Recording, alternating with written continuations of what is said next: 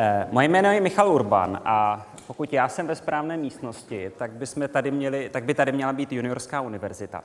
Eh, současně ten dnešní program bude možná trošku jiný, eh, protože moje setkání s vámi by mělo být zejména diskuzní.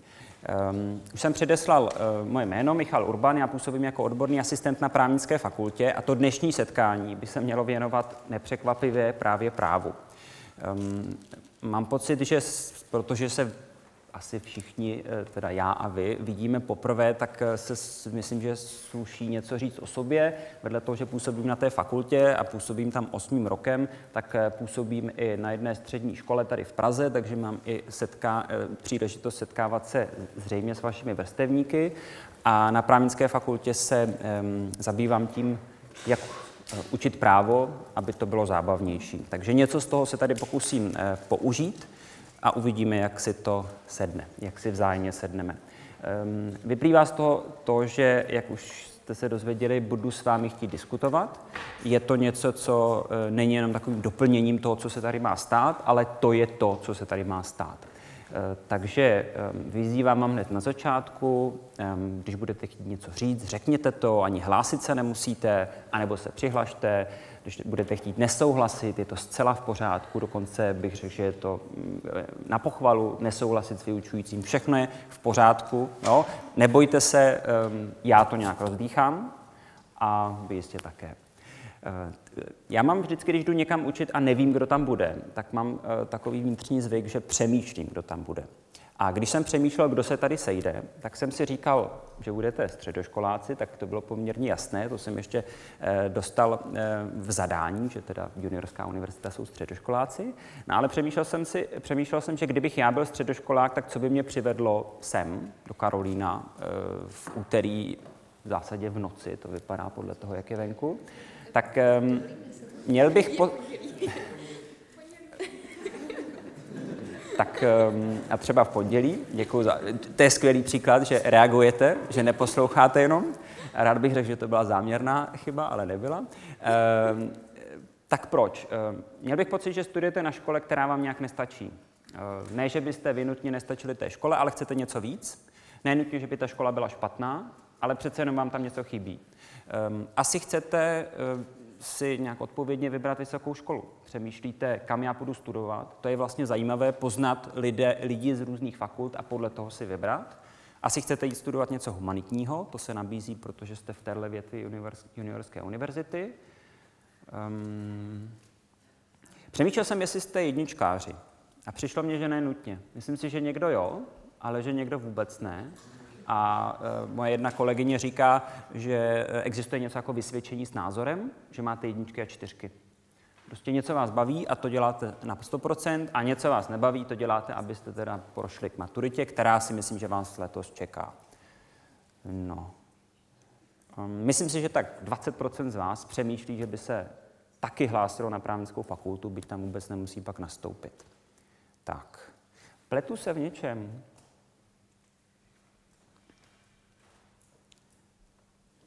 Je něco, co byste doplnili k tomu, kdo jste vy?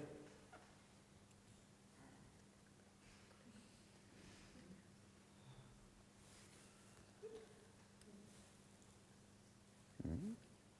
Dobře, já to beru tak, že jsem v zásadě obsáhl to, co jste vy. Eh, já samozřejmě eh, to budu postupně prověřovat a to udělám hned teď, protože vy se asi taky moc neznáte navzájem, že jo? Vy jste se párkrát viděli, ale možná jste tak viděli jako hlavu někoho před vámi. A e, to taky teďka využijeme.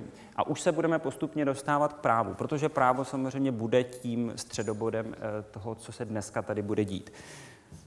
Um, chtěl jsem se vás zeptat, kdo, a já už jsem to přece vzal, přemýšlí, že si podá přihlášku taky na právnickou fakultu. Ruku nahoru?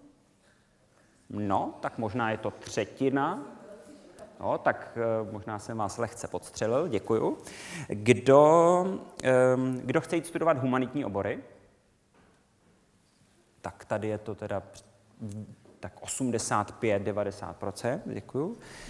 Ehm, kdo z vás už byl někdy se podívat na soudě? Na soudě. Byla jste se podívat, jak se soudí. Byl tam soudce, státní zástupce, tak třeba 40% z vás. Kdo už přečetl nějaký zákon, nebo aspoň značnou část zákona? Aha. A kdo přečetl ústavu? Hmm, tak třeba 40% z vás. Skvělý. E, tak to je nějaké základní e, zmapování toho, kdo vy jste a myslím si, že to zcela, e, zcela v pořádku, že jste tady. E, já třeba, než jsem nastoupil na právnickou fakultu, tak jsem taky u soudu nikdy nebyl. Ostatně ani během toho studia jsem tehdy moc nikam nechodil, eh, protože tehdy to nějak ještě ta fakulta nepomáhala nám v tom. Pokud byste nastoupili teď, tak už máte spoustu možností jít v rámci studia k soudu. Co od dneška očekáváte? Já jsem trochu formuloval, co já čekám, co čekám, že jste vy. Eh, proč jste tady? Vedle toho, že jste teda jednou napsali se někam do juniorské univerzity, ale co vás přivedlo dneska sem? Říkali jste si prostě juniorská univerzita, Urban, právo, co tam bylo? Proč jste dneska tady? Nebo, abych to zarámoval ještě pozitivně, co si chcete z dneška odnést? Když se přenesete 90 minut do budoucnosti, co byste chtěli, aby bylo jinak? Mhm. To je zcela legitimní důvod, abyste zjistili, jestli vás to bude bavit. Že to něco víc, než to se můžeme. A, to je docela těžké očekávání pro mě samozřejmě, ale určitě eh, zcela na místě. A právníci by řekli legitimní očekávání. Čekáte, že se naučíte něco, co se nemůžete naučit sama, proto jste ve škole, jinak se čtete v knihovně a nevážíte cestu. Hm? Tak, co tady ta část? Co vy čekáte?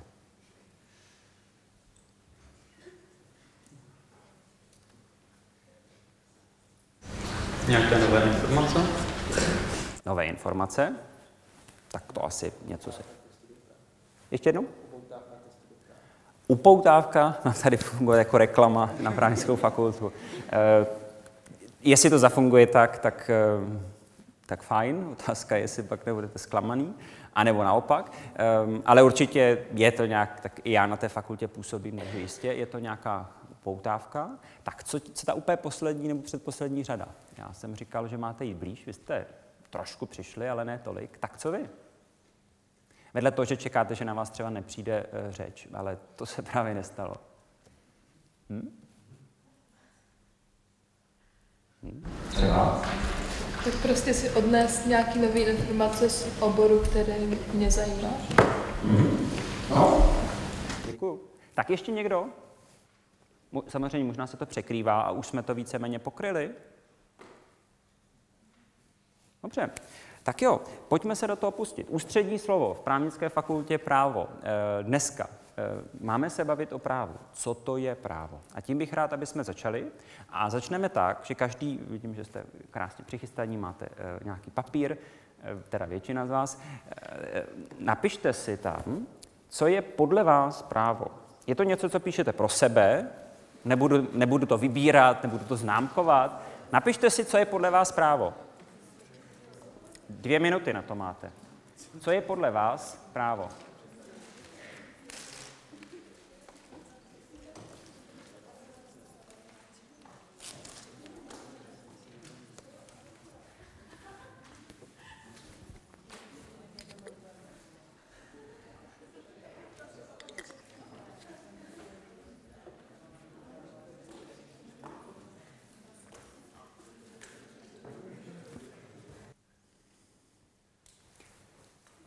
Základní otázka, na kterou jste odpovídali, to znamená, co je právo, je nakonec i má být výstupem toho dnešního setkání. Po dnešku byste, když já jsem přemýšlel, co byste si měli odnést, vedle toho, že jistě to funguje jako nějaká reklama na právnickou fakultu, já jsem se zavázal, že sem přijdu a něco tady předvedu, to všechno samozřejmě platí, ale eh, měli byste si odnést něco, měli byste nějak lépe rozumět tomu, co toto právo vlastně je. Vy jste jistě sem přišli už s nějakou představou. Když jsem se zeptal, nebo když jsem vám zadal úkol, napište, co je právo, nikdo nezvedl ruku a, a, a zeptal se, jako, a co myslíte jako tím právem. Jo? Že jako kdybych vám napsal, jako, um, kdyby, to byl úplně neznámý pojem. Nějak vám ten pojem uh, známý je. Nějak. A po dnešku by měl být nějak lépe, více, v širších souvislostech, s dalšími věcmi, které se k tomu váží. No a my začneme takovou právnickou rozcvičkou, jsem si to nazval. Mám tady čtyři otázky, na které se vás budu ptát a postupně budeme hledat, ehm, jak jsme na tom. Ehm, podotýkám, že ehm, zejména ta první není myšlená, abyste tady přicházeli s osobními spověďmi. Hnedka eh, vy se, nebo pochopíte proč. Ta první se ptá, kdy jste naposledy porušili právo. Kdy jste naposledy porušili právo. Zkuste si v hlavě najít ten okamžik,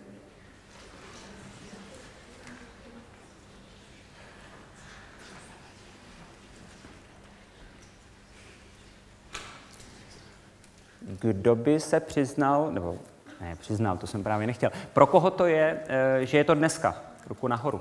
Kdo by dneska měl něco? Já bych měl určitě. Aha, tak třeba třetina, čtvrtina možná. Chtěl jsem říct tento týden, ale protože je pondělí, tak to je docela krátký. Eh, kdo v minulém týdnu?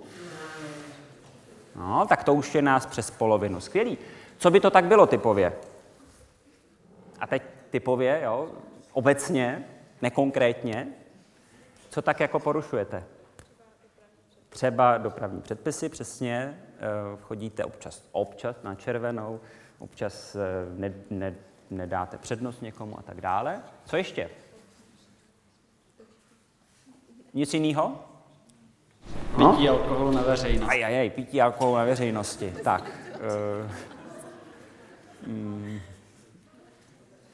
tak, a někde se to nesmí, ano, tady nám právo, protože teda, a teď teda, já se nebudu ptát, ale vám jistě je přes 18, takže to, že pijete alkohol z hlediska práva, jako, jo, právo si nad tím může kroutit hlavu, že je to nerozumný a tak, ale jako právně dě, neděláte nic zakázaného, ale někde ho pít nesmíte. No, a to je na veřejnosti. Na nějaký veřejnosti, na nějaký veřejnosti smíte. Aha, tak ještě něco? Přepravní Jede na, červen, na černo třeba, jo? A nebo jí v autobuse. Aha, jo? No. Protože existují nějaké přepravní podmínky, což se vůbec nemenuje zákon, že když je někde zákon, tak máme pocit, to víme, že je právo, to se jako smí, nesmí. A tady jsou nějaké přepravní podmínky, ale i vy, a správně, je řadíte do práva a víte, že je máte dodržovat. A když je nedodržujete, dokonce i když tam v tom autobuse nejsou uvedený, napsaný, tak i tak je nesmíte, jo? Aha, skvělý. Tak třeba když si stahuju Aha. Když si stahujete určitý druh hudby, samozřejmě, jo? Jako, že nějaký stáhnutí je legální, ale někde se už dostáváte za hranici práva. No, eh, je někdo, kdo, co máme, to září, kdo od června do dneška neporušil právo? A to je zajímavá informace podle mě. No. To znamená, právo zjevně je nějaký systém, který tady všude. No. A nejen, že jako je všude a nás se netýká, ale je všude a nás se týká. A dokonce my si uvědomujeme, že ho čas od času porušujeme. Když bych eh, to právo vztáhnul tomu, kde jsme a e, tomu, že jsme tady teď. Když se podíváte okolo sebe, jsme v místnosti, že jo, a tak, a kdyby tady byl architekt, popisuje, jak je to architektonicky, um, historik by vám mohl popsat, kdy to vzniklo, ale právníka tady bude zajímat, jak právo souvisí s touto místností. Kde se tady, obrazně řečeno, zjevuje právo? Tím, co jsme podepisovali při, při, při vy jste se přihlásili a slíbili jste, že budete docházet, budete se chovat a možná něco platíte, nebo vám platí, nebo já nevím. A, a univerzita se zavázala, že otevře, rozsvítí, zatopí, někoho sem přivede. Přesně tak. Hm? Tak, kde, kde ještě tady vidíte? Věcná práva, takže někdo to vlastní, někdo to pronajímá. Aha. Jo? Majetková práva. Někomu to tady přece patří, někomu něco vám tady patří. Jo? A jak univerzita nesmí šmátnout po tom vašem, tak vy zase nesmíte tady si vodnízku sedačky. Jo? Uh, přesně, majetková práva. Mám právo tady získávat informace. Aha. Eh, máte ústavní právo na vzdělávání, což teda pokud jste podepsali nějakou smlouvu, tak vám ta univerzita i nějak garantuje a vy máte právo teda tady být a, a vzdělávat se. To je záslužný, to je pěkný že to víte, že je to vaše právo? Pojďte blíž.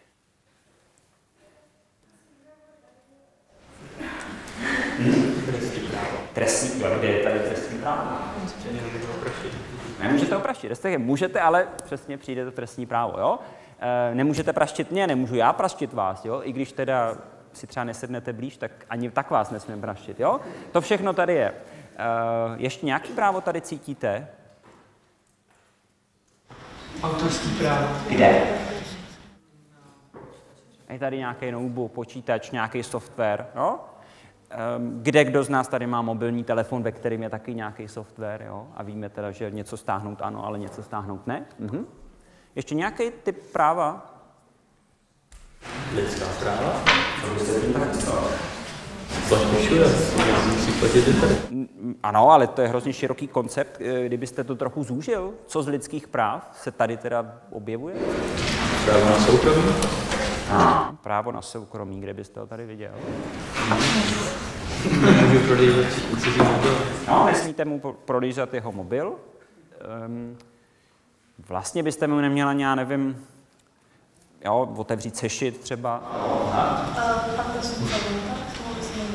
Smlouvy se mají dodržovat, to je krásný starý římský eh, princip, který dodnes platí. A jak byste ho aplikovala na to tady a teď? nějakou smlouvu, takže stranu. No. A, teda, a kdyby univerzita nedodržela, nedala vám vědět, nepustila vás a tak, tak vy ji nakonec můžete žalovat aspoň třeba o omluvu, no, nebo o nějakou kompenzaci. Jeli jste sem, utráceli jste čas, peníze. Hm? Skvělý. No, tak jo, tak to je skvělý, že vidíte to právo, mohli bychom se bavit o nějakým stavebním, o nějakých předpisech, jak velký to tady musí být, kolik tady musí být oken, jaký materiály tady smí a nesmí být, eh, co se stane, když na mě spadne strop, co se stane, když na vás spadne strop, um, co se stane, když já nepřijdu, Hmm. Co se stane, když se někomu tady něco stane? Jen tak, jako, jo? Přijdete a máte nějakou nemoc, o které já nevím, univerzita neví, a e, teďka se vám tady něco stane. Kdo za to odpovídá? Může pak, e, můžete pak žalovat univerzitu, že vám neposkytla první pomoc, jo? Musím já tady mít, nebo někdo, e, kufřík s první pomocí. Jo, to všechno to právo nějak řeší. Ehm, naopak, když to otočím, je tady něco, můžete tady, ne, teďka tady udělat něco, co právo nereguluje, anebo někde jinde, ale pojďme, můžete udělat něco, co tomu právu je úplně jedno. Odejít.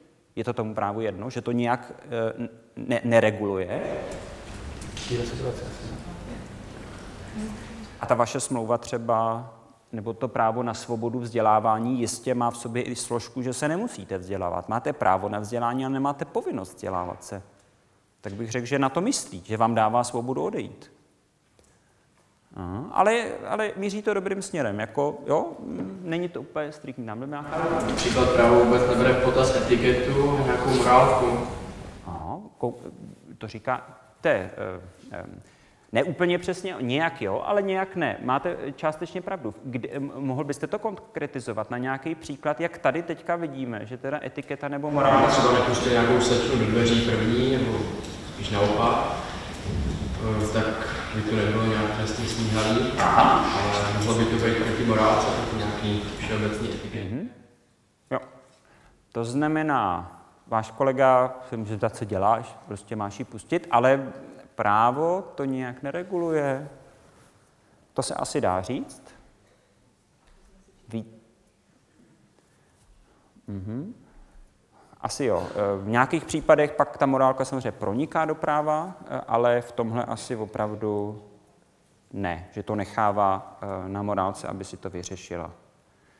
Kdybychom pak posuzovali, že by tady někdo třeba páchal nějakou, jo, nějaký přestupek proti veřejným věcem a tak, tak eh, by se posuzovalo, do jaký míry se choval třeba nespolečensky. Jo. A tam, tak tohle by byl jako asi malý krok nespolečenskosti, musel by něco přidat. Jo. Ale jinak eh, vlastně je to dobrý příklad. Hm? Ještě někdo má nějaký? Můžeme si tady sednout kam chceme, teoreticky.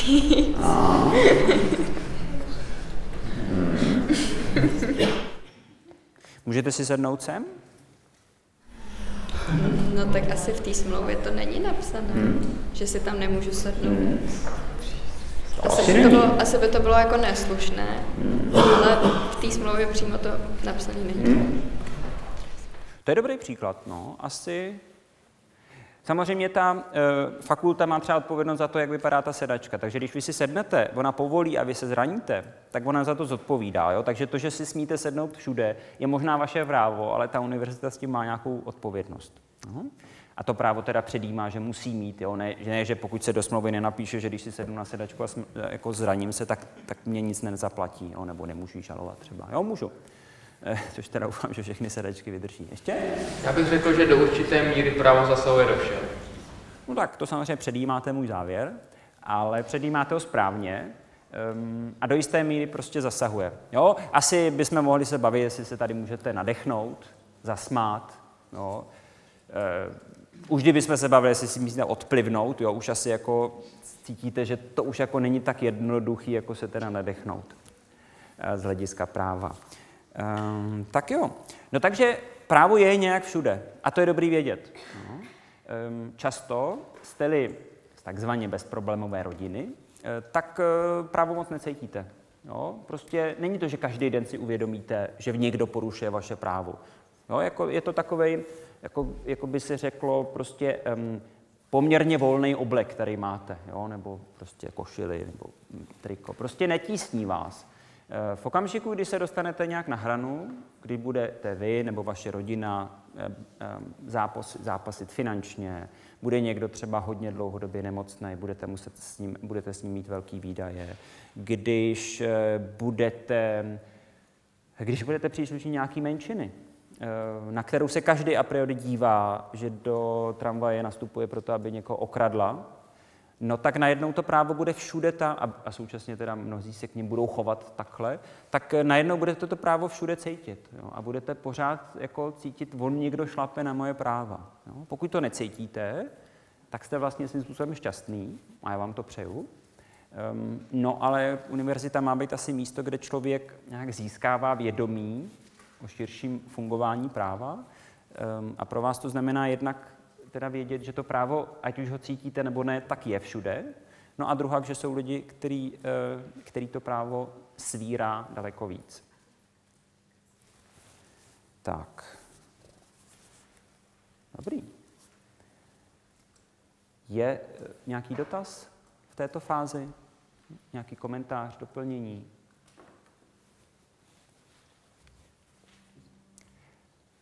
Tak my se podíváme teďka na uh, jeden konkrétní příklad, uh, takové delší cvičení, na kterém znovu si budeme uh, uvědomovat samozřejmě něco o právu. Já se vás na začátek zeptám, jsme v takovém jako volebním podzimu, bych řekl, takže politika, když vám neušlo teda, že jsme volili sněmovnu, budeme volit prezidenta a tak.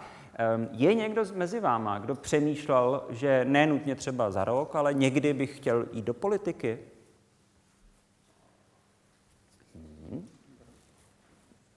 No, jedna, dva, tři, takových šest relativně nesmělých rukou. Kdybych to rozšířil a, a explicitně k tomu přidal politiku komunální, politiku v obvodu, ve městě, v obci, kde žijete, no, tak pár rukou by přibylo, ale jste teda dost skeptický politicky. Dost teda. No. A přitom by to taky hezky, kdyby třeba jeden z vás byl prezident jednou. No.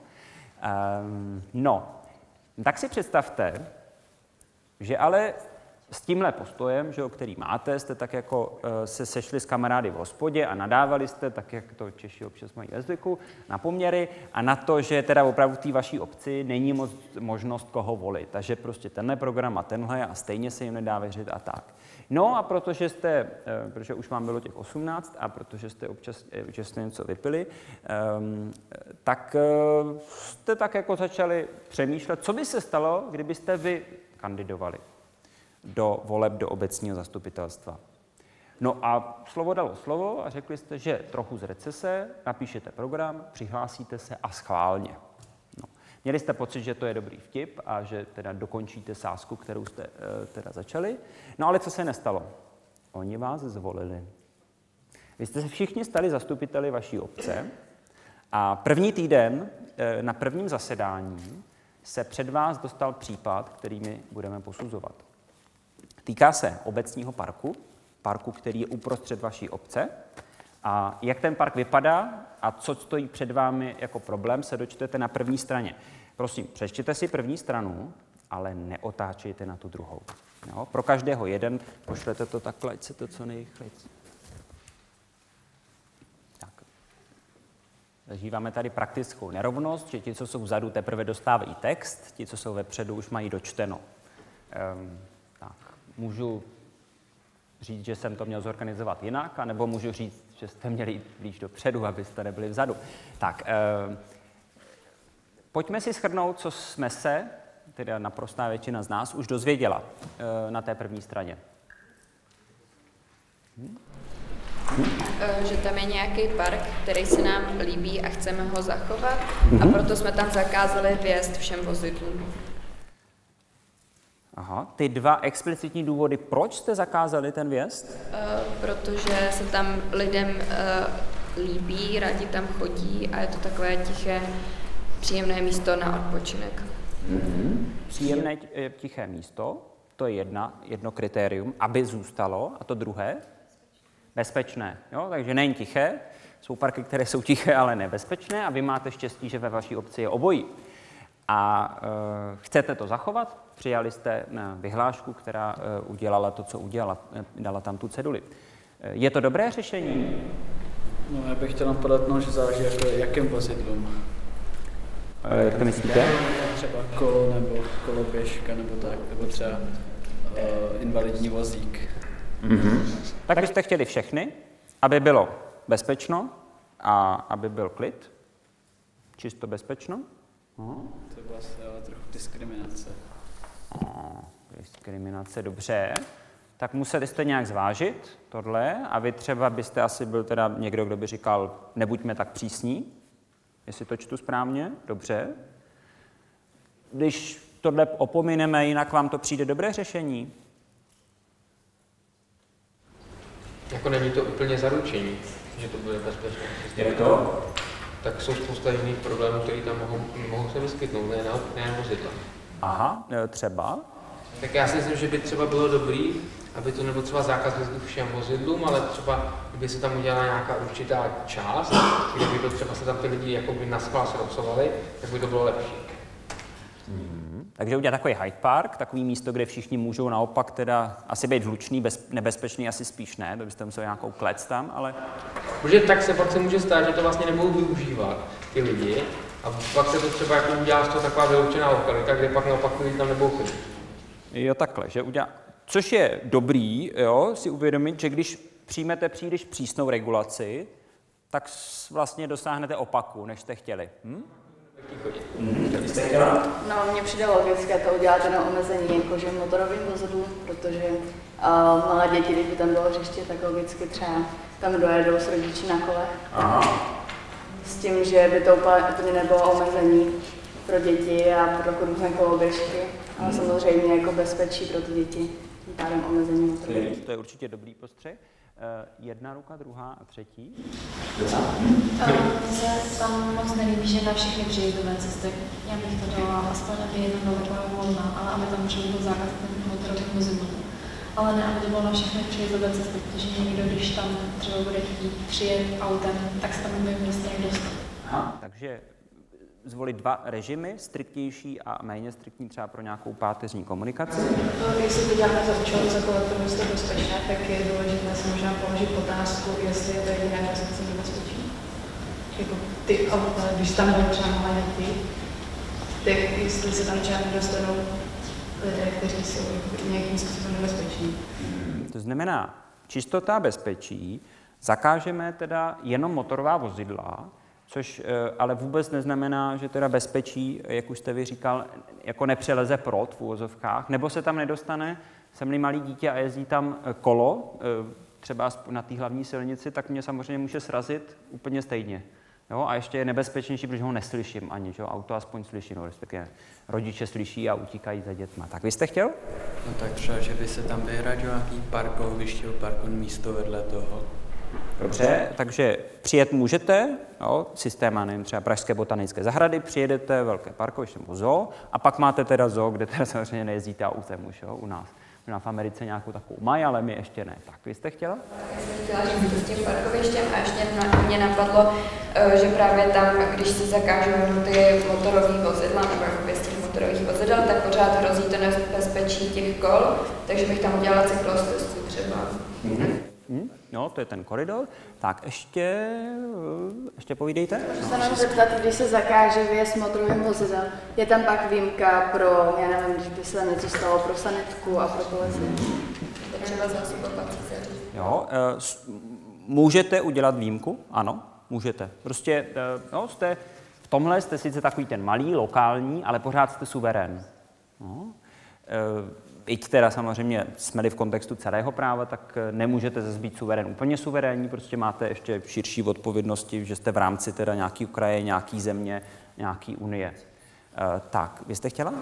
Já bych třeba udělala, že kdyby tam byly už nějaké ty cesty, tak bych třeba povolila ty kola, ty mleny, taky ale že by to mohly být různý pruhy pro ty jednotlivý, že by bylo prostě, ale že by, když je tam teda problém s těma dětmi, tak bych to třeba nějak ohraničila nenápadně, prostě, aby bylo prostě výrazně jasný, kde jezdí kola, kde můžeme chodit a třeba nějaký průtek nebo něco prostě. No. Ehm, Je krásně vidět, že když se dostaneme k relativně konkrétnímu, ještě není i úplně konkrétním případ, tak najednou už se ukazují různé pohledy, různé nápady, které vás eh, přivádějí k tomu a i se dostáváte do nějakého eh, sporu nebo do vyjasňování, jo? což se v právu často děje. A je to důležitý, protože tím si nějak uvědomujeme, jak ta situace je komplikovaná, širokospektrální. No a eh, tohle přesně se vám stalo. Prostě vy jste měli pocit, že jste napsali velmi dobrý předpis, vyhlášku, umístili cedule a měli jste pocit, že první problém vaší rané politické kariéry je za váma. Hm, Není. Eh, Během týdne se vám sešlo osm různých žádostí lidí, kteří by chtěli vjet do toho parku a mají nějaký svůj důležitý důvod. A teď nevědí, jestli tam můžou jet, anebo mají pocit, že jste jim to zakázali a oni říkají, puste nás tam. To přece nedává smysl, aby jsme tam nebyli. No a vaším úkolem teďka bude ve skupinách po pěti až po šesti no, se um, společně během deseti minut dohodnout na tom, jak všech těch osm situací vyřešíte. Vaším úkolem bude vždycky jednak nadefinovat, jestli toho člověka vpustíte do toho parku nebo ne a proč. A e, potom, jestli můžete si v tom položit otázku, jestli, e, když ho vpustíte nebo ne, jestli plníte smysl té vyhlášky, který jste udělali. No a pokud tam, pokud budete hotoví, já vás budu různě obcházet, ale kdybych, protože vás je přece jenom dost, tak můžete přemýšlet, za jakých podmínek byste nakonec i ty, který jste nechtěli vpustit, byste tam ještě vpustili. No. Tak. Skupiny po pěti, po šesti, deset minut. Otočte, na druhé straně máte těch osm situací a deset minut na to je vyřešit. Tak, kolik máte situací už máme všechny. Všechny. Řešíme, kdy, kdy, no ty situace, kde to je ne. no. Kdy ne? Kolik jich máte jako ne? Máme. Já mám teda dvě situace, kdy se nesmí a dvě situace, u kterých mám otazník a širší vysvětlení. Mhm. A shodli jste se už na těch situacích? No.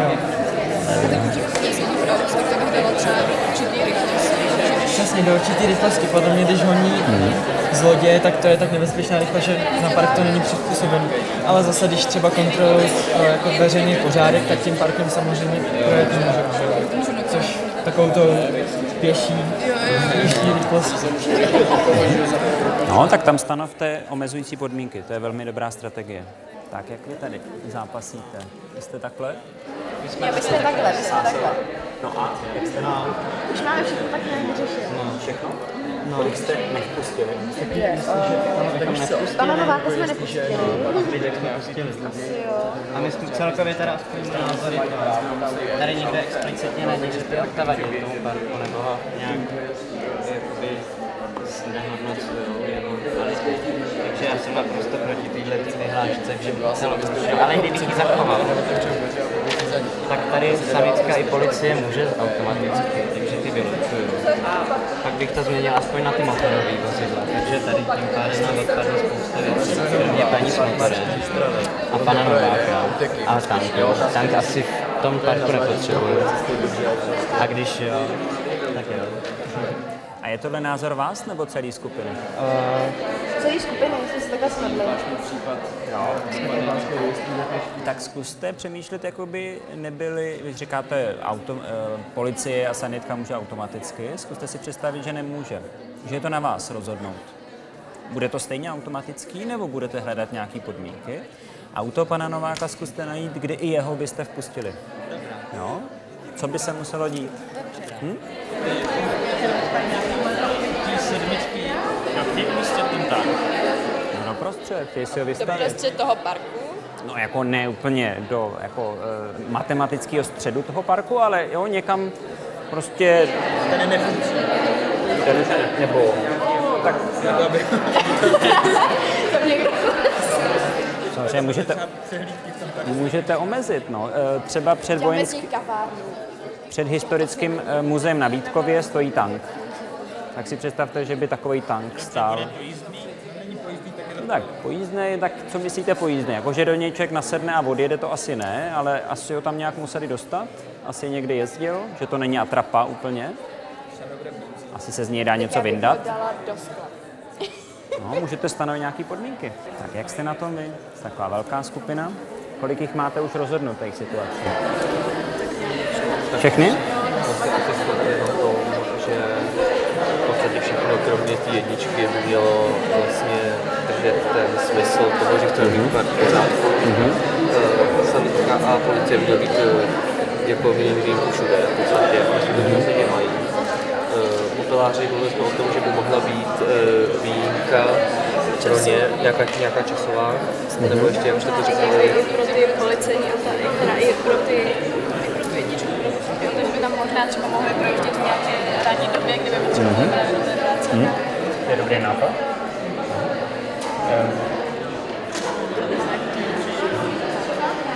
No, souhlasíte? Ehm, tak, eh, teď u té sanitky a policisty si zkuste představit, že je to na vás. No, vy říkáte, to je samozřejmě, oni tam smějí. Je to na vás. Pustíte je tam i tak? Stanovíte jim nějaké omezení? anebo řeknete, kdykoliv můžou a proč teda? A u toho pana Nováka, kdy byste i pana Nováka vpustili do parku? Za jakých podmínek? Co by se muselo stát? já bych dal na tank referendum, na tu sedmičku. A na tank referendum, což fajn. Tak si to lidi rozhodnou sami. Kdyby byl chirurg, nebo a Mhm. musel by rychle přijet do nemocnice na operaci a těch 10 minut by třeba mohl někdo. Je takovéhle povolání. Umíte to, což je velmi dobrý příklad, umíte to nějak eh, postavit tak, aby to bylo obecný? Jak, jak to nadefinovat, aby to, abyste obecně umožnila chirurgům projet, ale ne jiným panům Novákům, který nemají tu, jako toho chirurga k tomu. No? Tak o tom zkuste jako skupina ještě popřemýšlet. Jak jste na tom vy? Hotovo? Asi ano. Co znamená víceméně? Vlastně jo. Jakože to máme hotově, ještě jsou to prostě jako Kolik z nich nevpustíte do parku? Můžeme zavít to minister. Vlastně asi jenom tu jedničku. Jenom jedničku? Jinak máme nějaký podmínky. Jinak máte nějaké podmínky. Za zvláštních podmínek už pustíme všechny. No, tak Pustíte všechny. No a mě teďka budou zajímat podmínky, za kterých pustíte i jedničku, i pana Nováka. Že máme vymyslet. Hmm. Co by se muselo stát, aby i pana Nováka? Tak, a teďka. Pan Novák, kolik skupin eh, hlasují pro to, že by vpustili pana Nováka? Hmm. Tak, nikdo. A teď si teda spočteme, kolik máme skupin. Kdo hlasuje pro pana Nováka? Jako, eh, proti panu Nováku, nevpustit pana Nováka, tak? Každ- z každé skupiny jenom jeden. Raz, dva, tři, čtyři, pět, šest, sedm, osm, devět, deset, jedenáct, dvanáct, třináct. Tak nějak mě to vychází. Tak uvidíme, jestli se... Tak. Úklidová firma. Kdo je proto vpustit úklidovou firmu do parku? Mám jenom dotaz, jaký by byl druh té popelnice? Jako materiál, ze kterého je? Ne, ale jako, jestli se dá třeba převážet, tak bych je tam jako poslala, aby šly pěšky, ale jestli jsou to takový ty těžký, tak chápu, že prostě... Jo, uh, takový ty klasický železný, uh, kovový, prostě 100 litrový, nebo kolik to je, to je asi víc než 100 litrů. Tak, uh, kdo vpustit, teda ještě jednou ruku nahoru, raz, dva, tři, čtyři, pět, 6, 7, 8, 9, 10. A kdo nevpustit? Jeden, dva. Tak tady nám nějaká, teda jeden hlas mě někde chybí, nebo tam přebývá, ale dobrý. Sanitka. Kdo vpustí sanitku? Ruku nahoru. 1, 2, 3, 4, 5, 6, 7, 8, 9, 10, 11. A kdo nevpustí sanitku? Jedna. Tak zase nám ubyl jeden hlas, to je zajímavý. Policie. Kdo vpustí policii? Jeden, dva, tři, čtyři, pět. A kdo nevpustí?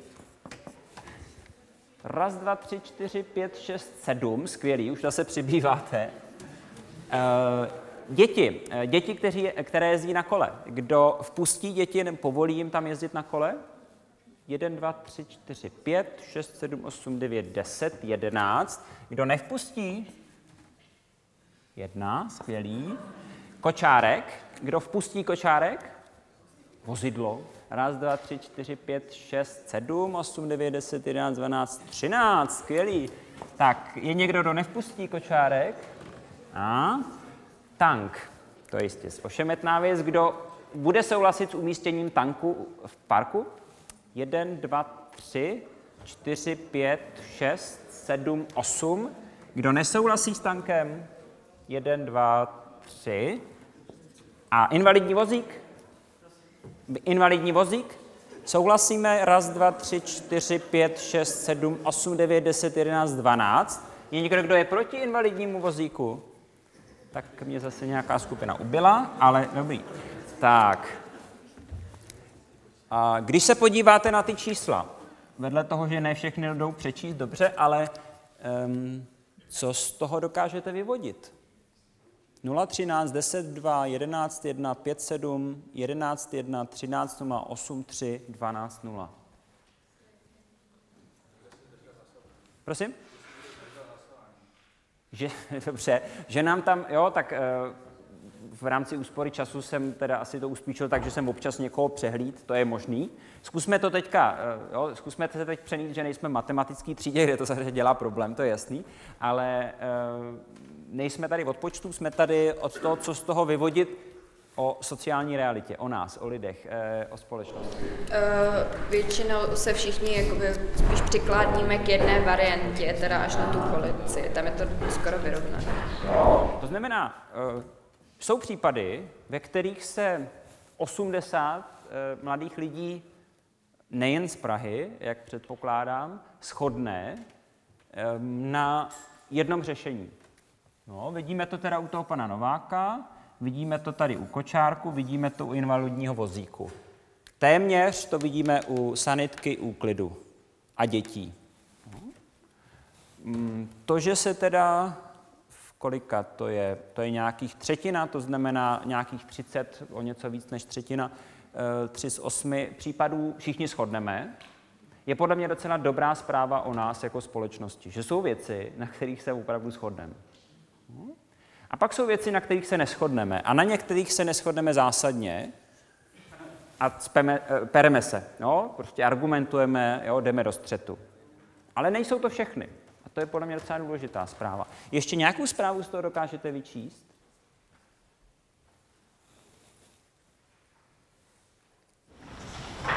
Že většina lidí je pro vpuštění a jenom ve dvou výjimkách byli proti.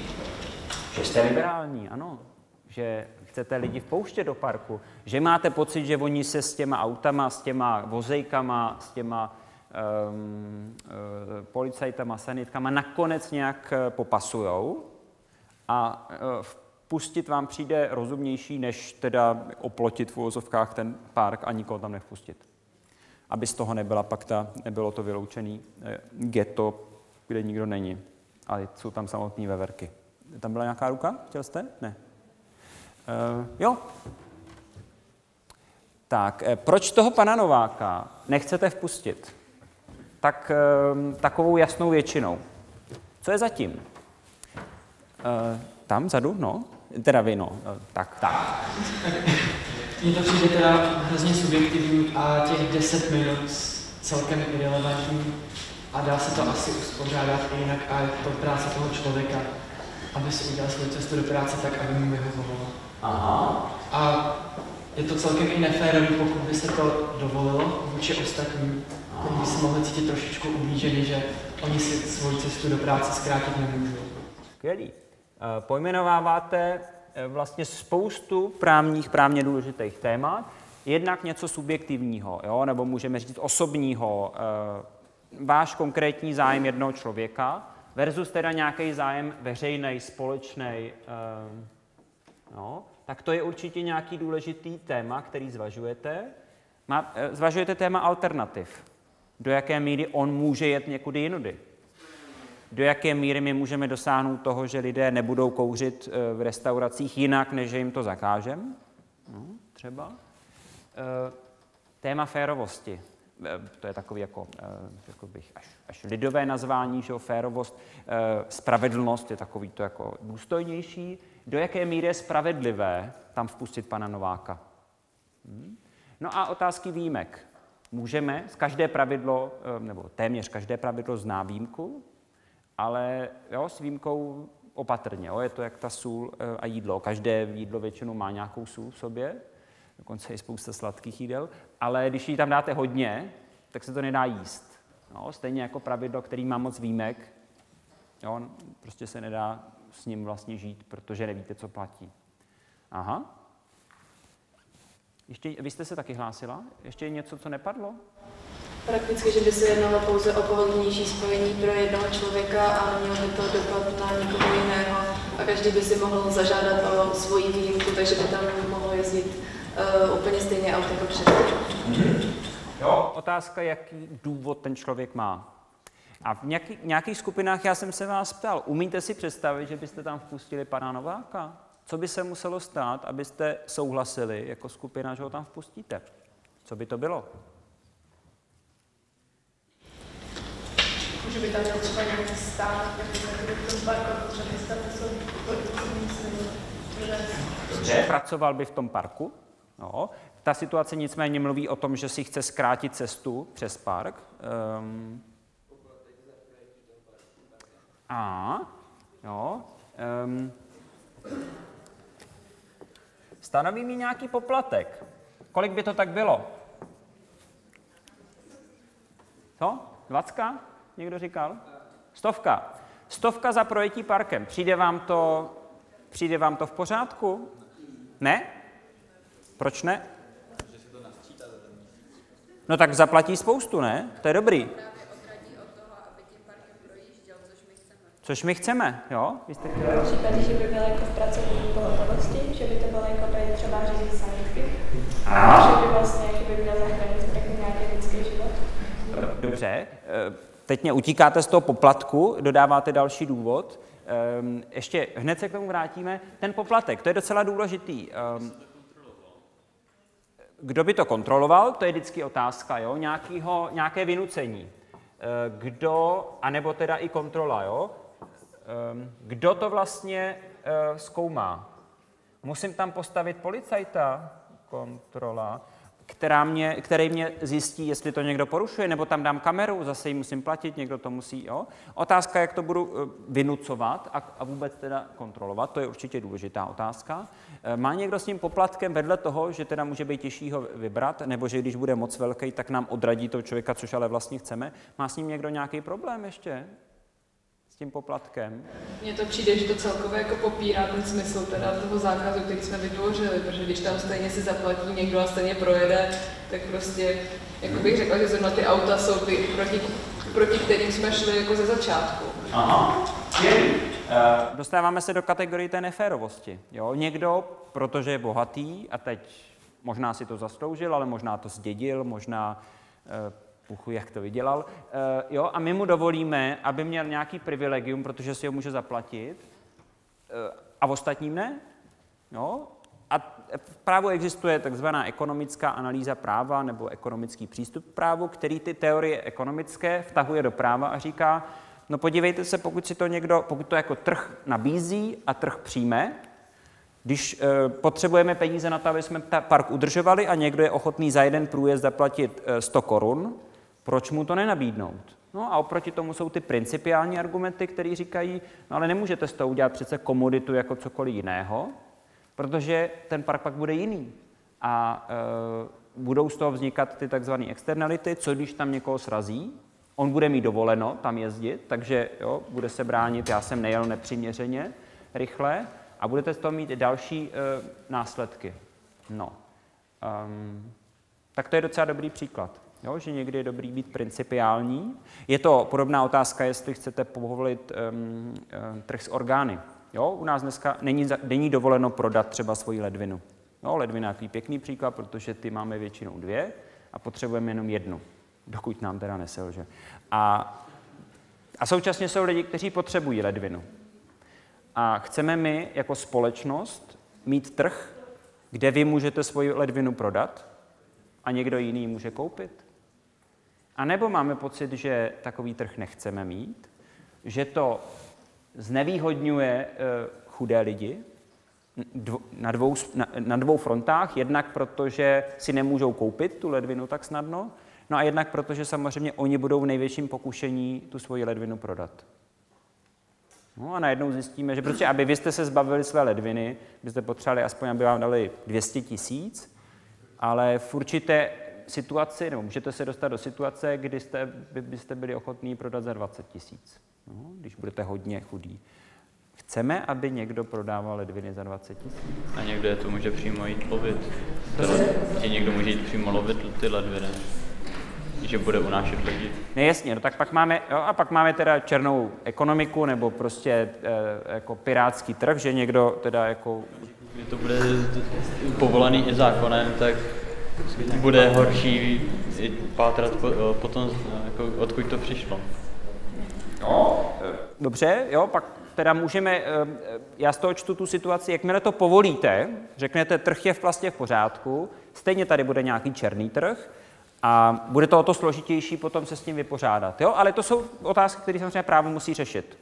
Chceme to nebo nechceme?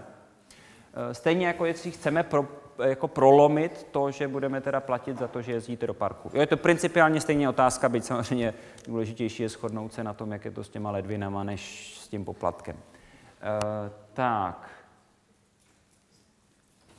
Hmm. Tak, co ta sanitka? Uh, tam jste většinou byli pro vpuštění. Co jsou ty argumenty pro? Jo, vyšší zákon, pokud odkazujete na to, že vlastně právo vozidlům s předností jízdy, jak se to nazývá, je upraveno jako v jiném zákoně, který vy jako zastupitelstvo obce musíte respektovat. To je, řekl bych, právně eh, jako legalistická, pozitivistická odpověď. Jo, je to napsáno v nějakém zákoně, máte pravdu, ale možná dokážete najít i nějaký teoretičtější, principiálnější argument? Protože ta sanitka, když jede, tak houká, takže tím na sebe upozorní. Takže se, já to sformuluji jako snižuje riziko nějaký jako jo, e, poranění, prostě kolize. Ještě nějaký důvod?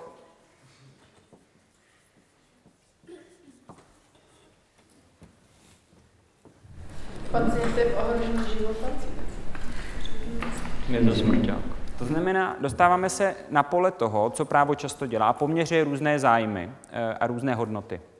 A tady máte hodnotu klidu a bezpečí lidí, kteří prostě si jdou jako v sobotu mm, se si užít sluníčko do parku a pozorovat ty veverky, versus teda člověka, který bojuje o život.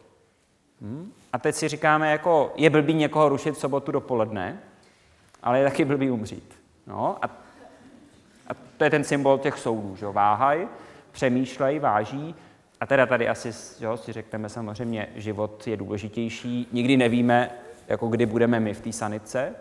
No. Takže poměřování nějakých hodnot, to je určitě velmi dobrý eh, postřeh. Tam byl vzadu, tam jste... Jo. Ještě něco? Uh, na druhou stranu se můžete rodit další život tím průjezdem.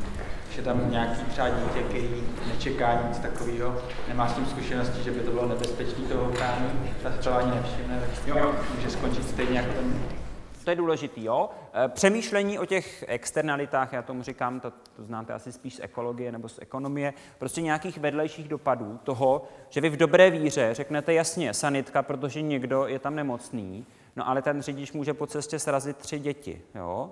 A v tu chvíli vám to vychází blbě. Chtěla jste, ne? Já si právě myslím, že uh, ta sanitka jak houká, tak na sebe upozorňuje, takže ty lidi si toho podle mě je hodně vysoká pravděpodobnost, že si toho včas všimnou. A když je tam nějaký malý dítě, který třeba ještě neví, o co se jedná, tak uh, v podstatě taky uh, je právo, ne právo, je povinnost uh, toho rodiče, aby se o to dítě postaral. Současně jako rodič si jdete do toho parku odfuknout, ne pořád jako běhat za svým dítětem. Ale máte pravdu, principiálně máte pravdu určitě. Mhm. Ale je dobrý to uvážit, jo? jak pravděpodobný je, že se nám to bude stávat, a nebo sociologicky zkoumat. To znamená, přijali jste nějaké rozhodnutí, po dvou, po třech, po pěti letech se k tomu vraťte. Kolikrát se nám to stalo, že nám ta sanitka srazila někoho? Pokud je to nula, je to dobrý, jo? ale pokud je to šest, tak něco nefunguje. Hm?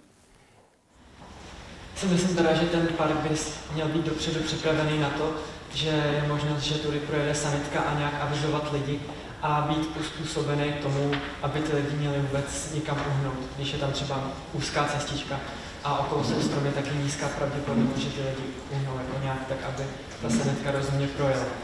No. To znamená, jakožto někdo, kdo designuje ten park, ať už eh, politik, který přijímá nějaký rozhodnutí, nebo pak ten konkrétní architekt, anebo právník, který to upravuje, přemýšlím o různých um, skupinách lidí, kteří budou ten park využívat a pokud možno se snažím najít řešení, který vyhovuje všem. Mhm. To je určitě dobrý. Třeba myslím, že je důležitý, jako, že, za, že to záleží na typu zranění, protože když tam někdo zlomí nohu, tak to není života ohrožující stav a pak třeba stačí jenom záchranář a nosítka. A když tam někdo krvácí a jedná se o minuty, tak by měla sanitka mít přístup. No.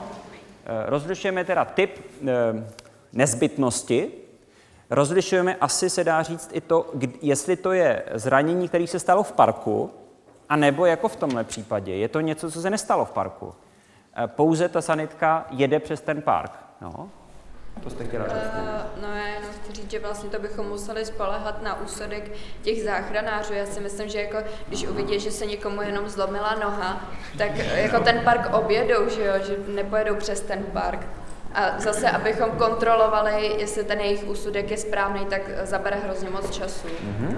Jo, píšu, kdo aplikuje, protože když přijmeme obecný předpis, vždycky je někdo, kdo ho vyloží. Konkrétní soudce, policista, záchranář. Jo, mám-li já ehm, v případě, že je to nezbytně nutné, můžu použít majáček a jet teda s houkačkou skrz město, tak v tu chvíli kdo to rozhodne? No já jako ten řidič, jo, ten doktor anebo ten saniták. No a když teda přijímáme předpisy, nebo voják třeba v nějaké situaci, že jo, tak máme asi přemýšlet, že to jsou ty lidi, kteří to budou rozhodovat. Chceme mi jim dát tu pravomoc vůbec? Důvěřujeme, že ji dobře využijí a jak případně budeme, ještě tam vlastně doplním, jak to budeme kontrolovat. To znamená, um, jo, jistě se setkáváte, pokud čtete noviny, že s těma případama, že policisté někde zasáhnou a mnozí mají pocit, že to bylo neoprávnění, že to bylo příliš silný třeba.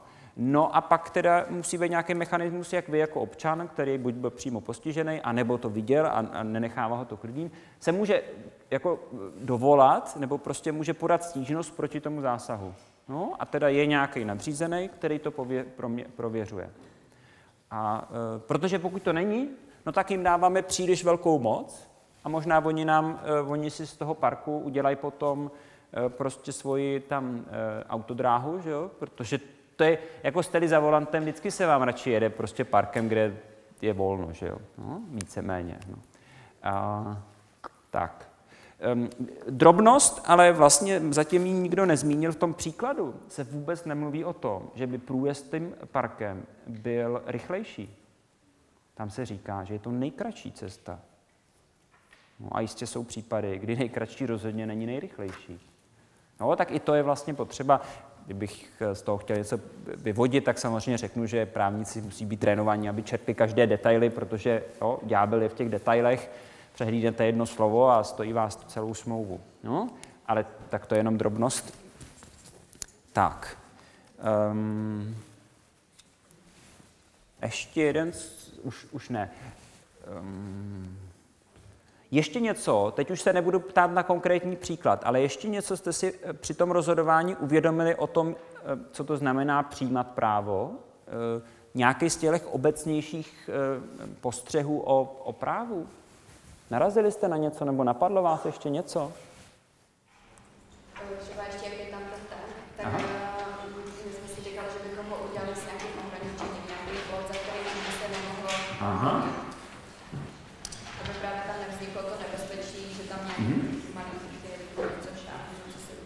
Jo, píšu uh, snižování rizika. Prostě máme nějaké riziko, že se někdo zraní, zraní, ale my ho umíme zmenšit.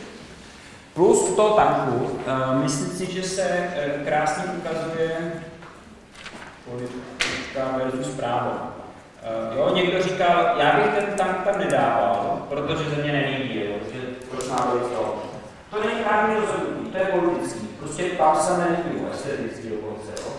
Což je legitimní právo rozhoduje, jestli tam pustíte nebo ne, jako si napíšete před, aby tam mohl být nebo ne. Um, v tomhle právo vlastně realizuje to, co si politicky dohodnete, to, co rozhodnete, to, co chcete, aby bylo, no, vy zástupci občané.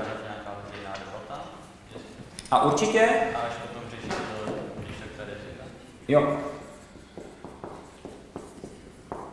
Um, můžeme tam rozeznávat i takovou dvojici, která v právu se často eh, objevuje, legitimita versus legalita. Legitimita je něco, co vám dává um, sílu to prosadit, dává vám politickou moc to prosadit. Prostě lidé za vámi stojí, že jo? to je ten teda prezident, který říká, mě volilo 2,5 milionu lidí, kdo z vás to má, tak prostě to, co říkám já, je daleko silnější, ne protože mám hluboký hlas, ale protože prostě mě volilo 2,5 eh, milionu lidí.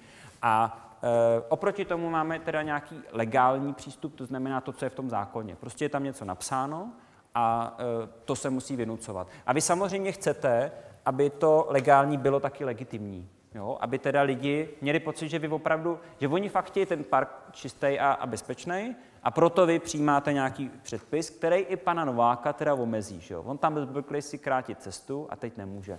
Mně pak teda přijde logické, jak se tady shodli nejenom k tomu tanku, ale celkově, že když se v tom případě jedná o nějakou menší obec, aby si teda občané ty obce o to rozhodovali sami, nebo udělali teda nějaký návrh, co by třeba oni tam chtěli, jak by třeba měly vypadat ty parky, eh, ty hřiště pro ty děti a tak. Když se pak bavíme o tom, že ty lidi by si k tomu tanku měli říct ten svůj názor, nebo tak proč by si tak tomu nemohli říct celkově k tomu parku ten názor na to, co by tam tak chtěli, co by jim vyhovovalo. Jo, a jsou uh, určité progresivní samozprávy, ty komunitní uh, prostě uh,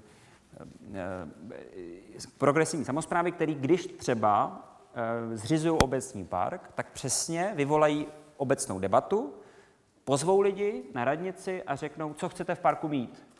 No a protože tady máme hodně maminek s dětma, tak chceme mít hezký velký hřiště, protože tam máme cyklisty, který vedle mají knihovnu a bazén, tak tam chtějí mít stojan na kola, protože eh, tam vedle je fotbalový škola, která by tam hrála fotbal, tak tam chce jako velký trávník. A každý vlastně si řekne, co by tam chtěl mít, no a pak to nějaký architekt poskládá, tak aby tam každý měl, co chce, tím pádem k tomu měl nějaký vztah, tím pádem tam chodil, tím pádem se o to taky staral.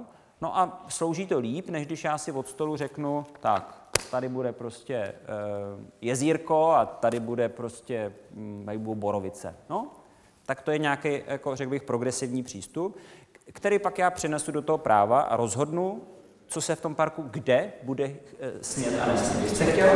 No, že možná jako takovým alibistickým způsobem vypsat komunální referendum, vlastně ohledně toho tanku. No, e, alibistickým to je v době, kdy strana, která prosazuje všeobecné referendum, má více než 10%, to je... Ne, ne, máte pravdu, samozřejmě. Ehm, to je samozřejmě pro každého právníka velmi těžká otázka, protože na jednu stranu máte pocit, nebo nejen pocit, ale demokracie je důležitá v tom, že právě lidé mají možnost se vyjádřit a je to důležité, aby ten systém nějak poslouchal, co lidé říkají, aby měl nějakou legitimitu. No ale současně víme, z historie i nedávné, že zas ovšem by lidé rozhodovat neměli. Protože když ovšem rozhodujou, tak to dopadá většinou špatně. Já bych řekl, že je tím komunálním celostátním. I na, nějak jo, ale principiálně je to to samé. Tak tady jde o estetiku toho tam.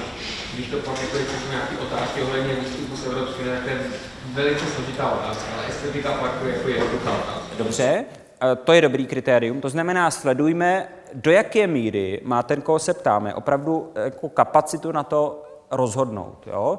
Jako i já, jako člověk, teda, který vystudoval dvě vysoké školy, tak jako rozhodnout, jestli um, americký radar v Brdech je jako z hlediska bezpečnostní situace prostě eh, evropského regionu a České republiky dnes a za 20 let, jestli je to jako dobrý řešení nebo ne, jako jak já to mám vědět? Jo? Navíc půlka těch dokumentů okolo je tajná, protože jsou eh, vojenský, logicky. Jo, tak jako, jak já se mám rozhodnout, že jo? Což byl jedno, že jo, ten, ten eh, maják, teda ten eh, radar v Brdech americký, byl jedno téma, u kterého málem došlo k tomu rozhodnutí. A nebo teda ta Evropská unie, jo, jako, tak já samozřejmě mám mnoho důvodů, proč si myslím, že je dobrý, že tam jsme, ale že bych jako věděl všechny, no, tak to taky ne. No. A pak se zeptáte a oni vám ty Britové řeknou, pff, Jo, a pak řešíte, jak to teda udělat. A je to obrovský průšvih té Británie, no a sama si ho teďka vyžere. No. Tak doufám, že my dopadneme líp. E, tak, my pomalu, pomalu se blížíme k závěru, možná dokonce i rychle, ale stejně. Mám pro vás tady e, to, abyste viděli, že to, co tady řešíme, sice vypadá takový jako hypotetický příklad, že nějaký park, nějaký panovák a tak dále, navíc ten park ani není definovaný, že nevíme, kde jsme a tak dále, což je pravda, současně je to jisté kouzlo tohohle e, cvičení. A já vám rozdám, jak tuhle situaci řeší Praha. Ne nutně, protože jste všichni z Prahy, ale minimálně všichni tady jste. No a Praha má taky předpis, který řeší, co se smí ve veřejných parcích nebo ne. Um, dobré na něm je, že se vyjde na jednu stranu, na jeden list, na dvě A4, um, rychle ho prolítněte, abyste pochopili, uh, jak to řeší. Jo? No a já se vás zeptám, jestli vám přijde tohle řešení dobrý, anebo ne. To bude moje hlavní otázka na vás. Pošlete to taky. Vím, že je na to relativně málo času, ale jo, v Pražském parku asi byli všichni z vás a předpokládám, že nikdy jste nevěnovali víc než tyhle tři minuty tomu, abyste studovali, jaký právní předpis tam platí a co tam jako reálně smíte nebo ne. Takže vlastně nakonec tak málo času to nebylo. Um, tak, mají to dobře v Praze upraveno? Přijde vám, že to dává smysl, tak jak to mají? No? Našli jste tam nějaký zákaz, který vás překvapil? Vstupovat na trávníky, jo? Česká versus anglická kultura, jo? někde je to zcela přirozený, někde je to dovolený jenom na vybraných e, plochách a jinde ne. Nevím, se ostatní veřejnou zelení. No, a vidíme, že teda Praha pracuje s tím, co tady taky někdo navrhoval. Stanovíme různé stupně, máme takový ty jako nej-nej e, plochy, kde se nesmí vlastně, vlastně nic. Pak máme jako jinou zeleň, kde se mnohé nesmí, a pak máme zeleň, kde se toho smí zase víc. Jo? Takže tohle rozdělíme a říkáme, jsou různé režimy, což je docela logický nebo docela e, chytrý přístup. A to rozděluje zákon o katastru nemovitosti, rozděluje tu zeleň, No, ve spolupráci s, tím, s tou vyhláškou. Jo? Tady v úvodu se říká, co je zeleň, co je zeleň v zástavbě a co je ostatní veřejná zeleň. A odkazuje se na konkrétní katastrální území, které jsou v příroze té vyhlášky. Jo? A tam si můžete přesně najít, kam patří Petřín, kam patří Františkánská zahrada, kam patří teda Krtský uh, les. Mhm. Pro mě třeba bylo osobně zjištění, že v některých pražských parcích se nesmí sáňkovat. To mě docela překvapilo. Jo? Um, tak Jo? A mohli bychom se bavit, jestli nám všechny zákazy přijdou smysluplný. No, my to už... A, jo. Sáňkovat a no, stanovat a nocovat. Jo, ano, narážíte, mohl bych z toho udělat to, že z hlediska veřejného práva platí rozhodně, co není zakázáno, je povoleno pro vás. To znamená, co si ten, ta veřejná samozpráva nevymínila, tak to vysmíte.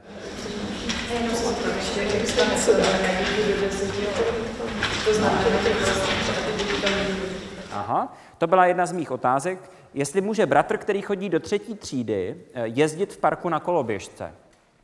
No. A vy správně jste našla vlastně tu odpověď, že v tom paragrafu 3 odstavce 4, což je přesně na druhé straně, eh, na konci je zákaz uvedený v tomhle paragrafu se nestahuje na děti do 10 let. Jo, máme tam výjimku a řekneme, jako na koloběžkách tam nejezděte, ale ty malí, to je dobrý. No? Přesně ten mechanismus taky, o kterém jste přemýšleli, prostě někomu dáme výjimku a v právu samozřejmě je potřeba tu výjimku dát obecně, nějaké skupině, to znamená nevýjmenovat ty děti, kterým teďka je jako 9 let, ale prostě říct všechny do 10 let. Tak, eh, mohli bychom tím strávit daleko víc času, eh, mohli bychom se bavit o tom, jakou strukturu má tenhle právní předpis a že vlastně každý právní předpis bude mít stejnou strukturu jako tenhle poměrně krátký dokument, jako tahle vyhláška. Na to bohužel už dneska nemáme čas. Na co ale máme čas, respektive musíme mít čas, je na to, abyste si teďka znova našli tu definici, eh, co je to právo podle vás, a podívali se na ní. Pokud chcete, něco si tam připište. Možná se vám nějak ten, ta představa zpřesnila. Možná byste k ní chtěli něco doplnit. Udělejte to. Předpokládám, že jste v maturitním ročníku, nebo možná ročník předtím. To znamená, že se nějakých 12, možná 13 let institucionálně vzděláváte. Možná ale jste eh, ještě neměli příležitost, aby vás někdo učil, jak se vlastně učit. Pořád vás něco učili, ale možná vás neučili, jak se učit. To, co my uděláme teď na úplný závěr, je něco, co je technika, která určitě funguje na to, jak se učit cokoliv, ne, nejenom právo. Eh, a to po jakékoliv aktivitě, třeba po takovém semináři, si říct konkrétně, co jste se dneska naučili, co si z toho dneska odnášíte. A tím my skončíme. Budu chtít, abyste sformulovali, co vy konkrétně si z toho dneška odnášíte. Eh, pokud je to něco, co um, nemusí to být jenom pozitivní, co si odnášíte, možná uh, si odnášíte něco, třeba, že vás to tady vůbec nebavilo. I to je důležité, to je zase pro mě nějaká zpětná vazba, i tu můžete říct, je-li to to hlavní, co si dneska odnášíte. Um, a je dobré si to uh, nejenom uvědomit, uh, vždycky to bude fungovat lépe, když si to napíšete, ještě lépe to bude fungovat, když to někomu řeknete. Uh, a ještě lépe to bude fungovat, když to řeknete před mnoha lidmi, protože to je věc, kterou si opravdu zapamatujete. Navíc si ji možná odnese někdo jiný, kdo vlastně si sám neuvědomuje, že se to dneska naučil, ale když vy to říkáte, tak si vlastně uvědomí, že si to odnáší. Tak to je nějaký princip, který můžete na sobě aplikovat. Eh, když si po každé hodině napíšete, co jsou dvě věci, které si z ní odnášíte, působí to jako malinko, ale i to je víc než nic. Tak, eh, co si z dneška odnášíte konkrétního? Pár z vás dostane příležitost. Pro mě může být velmi stručný. Jedna věc, jednu, jed, cokoliv. Hm? Že, o, že to chce znát dobrý právníky.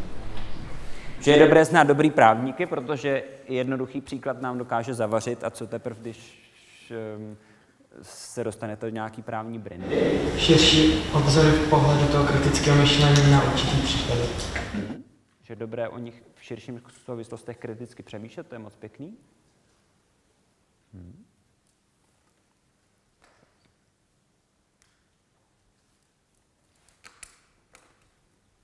Mm-hmm. Mi spousta věcí v těch jednotlivých zákonech třeba není obsažená, že se to dá víceméně nějak obejít, víceméně skoro pokaždé. Že zákony nejsou dokonalé a mnohé v nich může chybět, a pak je otázka, jestli to někdo obejde, jestli vy to předvídáte. Jo, ale určitě, že v těch zákonech nemůže být všechno. Hm? Hm? Řeknete nám něco? Co vy si odnášíte? Že, že právo nalezneme ve všem a všude. Že právo? Nalezneme ve všem a všude. Aha. No, všudy přítomné. Aby jsme z toho nedělali teologickou přednášku, že Bůh je taky všudy přítomný. Tak právo ale vlastně trochu je. Teda ten Bůh asi taky. Aha. Tak. Ještě tři hlasy, tři věci. Někdo. Hmm?